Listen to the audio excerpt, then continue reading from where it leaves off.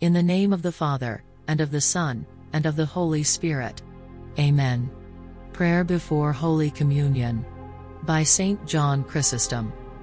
O Lord, my God, I am not worthy that you should come into my soul, but I rejoice that you have come to me because, in your loving kindness, you desire to dwell in me.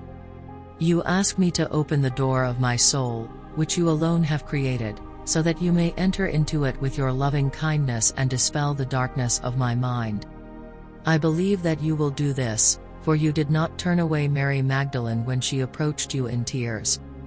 Neither did you withhold forgiveness from the tax collector who repented of his sins or from the good thief who asked to be received into your kingdom. Indeed, you numbered as your friends all who came to you with repentant hearts. O God, you alone are blessed always, now and forever. Amen.